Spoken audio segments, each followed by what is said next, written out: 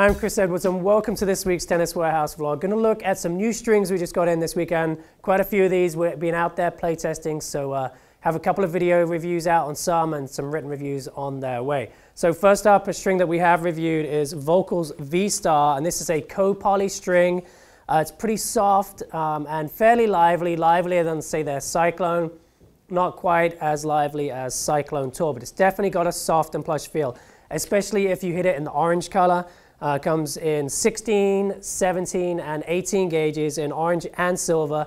Silver plays a little firmer, and we were splitting hairs here, but it's a tad firmer, tad crisper, a little bit more controlled, and then the, uh, the sort of fluoro orange color uh, we all found to be a little livelier, uh, especially after you string it. There's a little tension drop, and then it settles into being a nice, uh, soft, very plush feeling, good spin, good action on the ball out of this string.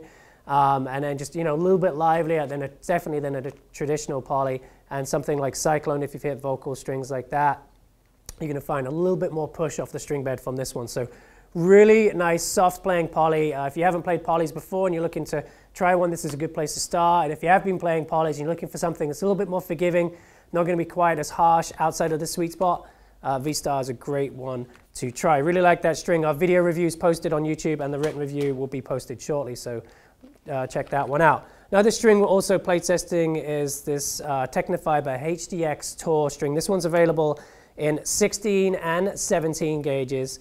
Um, and it comes in this uh, natural color and it's a multi-filament but it has polyester fibers blended in so you kind of plays a bit like a hybrid it plays like you're playing almost like with a you know a poly main and then a really soft multi-cross you kind of get that sensation when you're hitting the ball but all from uh, just one string so it's, a, it's crisper than a multi, more controlled than a multi, but it's got a bit more power and forgiveness and comfort than most polys out there. So it's a really nice sort of middle of the road playing string. It's going to uh, you know, definitely up the comfort if you're looking to get out of polys into something a bit more forgiving, but you still want to maintain a lot of control on the ball. This is a great string to try. And then if you want a really crisp multi to put in uh, a hybrid with a poly, you could really you know, get a ton of control, but a little bit more comfort by adding something like this into the crosses. Uh, but on its own, definitely a nice string to, play, uh, to try out. It's going to get pretty good durability in the 16 gauge. There's a special coating on the string so it resists notching well. Um, and in the 17 gauge, not quite as strong on the durability front, but a little livelier, a bit more forgiving, and some added comfort from that thinner, more elastic gauge.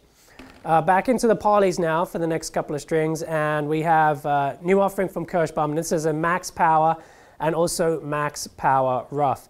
Um, this string is a really nice crisp playing poly, ton of control, really like it. It's a co-poly actually, um, monofilament string, and I just feel really dialed in with this one. I'm very confident I can take a really aggressive swing of the ball. I know I'm going to get the control, that firm, crisp, precise feel I want from a poly, and a ton of spin to help me uh, get my ball on target. And if I really want to add some spin and get some, uh, some additional comfort, the, uh, the rough version, Max Power Rough, has indents in the string, so it's actually kind of making the string thinner in places, and that's going to give you a bit more ball pocket, more forgiving feel outside of the sweet spot, and great access to spin as well. So really soft uh, playing string. And I think I get more spin just out of its additional ball pocketing than I do out of the actual texture of the string.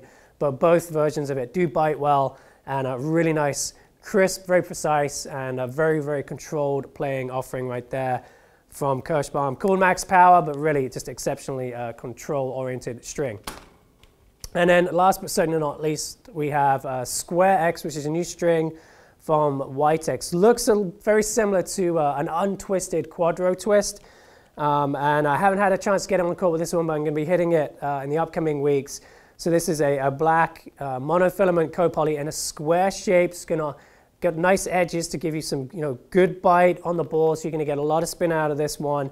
Um, and then just really looking forward to hitting that. So I don't know a ton about this string yet, but I'll get it out on court and then maybe fill you in in a future vlog. That's all I got for this week. Thank you so much for watching.